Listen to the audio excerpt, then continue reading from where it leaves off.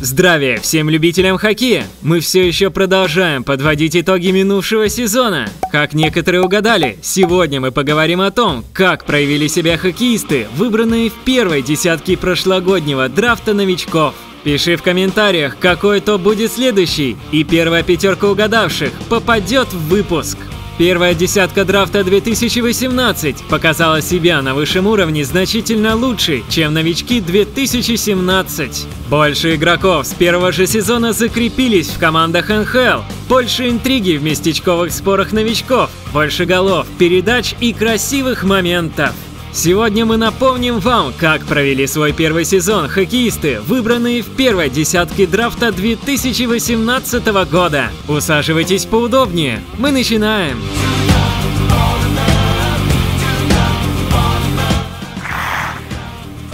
В возрасте 19 лет, выглядящий на все 40, Эван Бушар стал самым молодым защитником в истории Эдмонтон Уэллерс, забросившим шайбу в матче НХЛ. Эван провел стандартные 7 игр в составе основной команды. Потом из-за тонкостей с контрактом новичка вернулся в Лигу Онтарио, где стал по итогам сезона лучшим защитником турнира. Ждем канадца в составе нефтяников на постоянной основе уже в следующем году. Виталий Кравцов сыграет за Рейнджерс лишь в следующем сезоне, но этот год должен был стать прорывным в игре нападающего. Правда, получилось хуже, чем ожидали. Всего 21 балл за результативность в 50 играх за трактор и не самые лучшие впечатления по сравнению с прошлым сезоном. Начало в Рейнджерс обещает быть тяжелым. Одноклубник Бушара по Лондон Найтс Адам Боквест в главную команду Чикаго не поднимался. Но за сезон в Лиге Онтарио успел настрелять 60 очков в регулярке и 13 баллов в 11 матчах плей-офф. Похоже, за один сезон шведский защитник неплохо освоился на североамериканском льду и готов показывать широкой публике, за что его называют вторым Эриком Карлсоном. Куин Хьюз успел везде, и за Мичиган попылить, и последние пять игр в составе Ванкувера провести, и на два чемпионата мира съездить. И всюду оставил прекрасное впечатление. Особенно обрадовались болельщики Ванкувера, которые заждались в составе команды защитника первой пары с прекрасным пасом и светлой головой. Это только начало! Филипп Задина показал себя не только неплохим хоккеистом, но и человеком, который за словом в карман не полезет.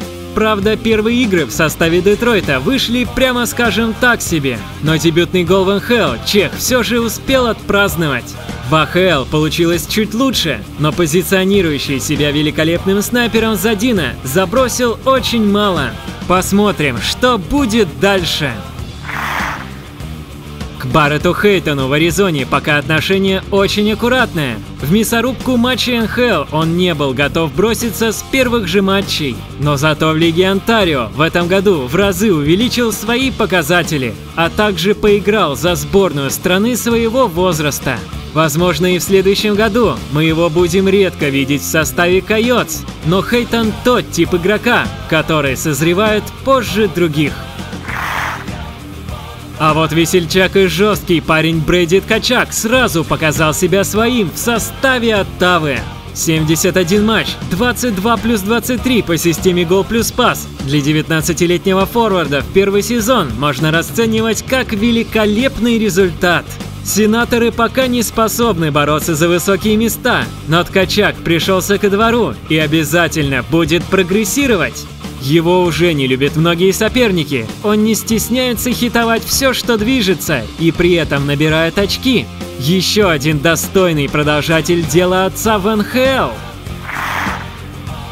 Еспери Кот Каньеми попал в состав самой безумной франшизы в НХЛ, и были опасения, что внимание монреальских медиа и болельщиков могут надломить 18-летнего Фина. Но он с честью пока выходит из этой ситуации. Сходу стал вторым центром команды и отыграл 79 матчей на очень высоком уровне. Похоже, канадиенс действительно выбрали звезду. Главное, по старой доброй монреальской традиции, самостоятельно ее не загубить.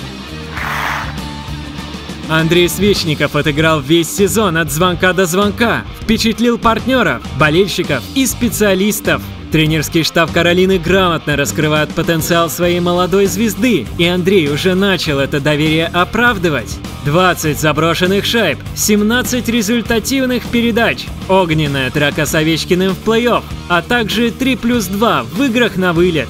Для молодого крайнего, играющего пока что не в первом звене, довольно неплохой результат. Расмус Долин вдохнул в болельщиков Баффало надежду на светлое будущее. Первые игры швед осваивался и боялся ошибиться, но потом заиграл активнее и вообще так, как умеет.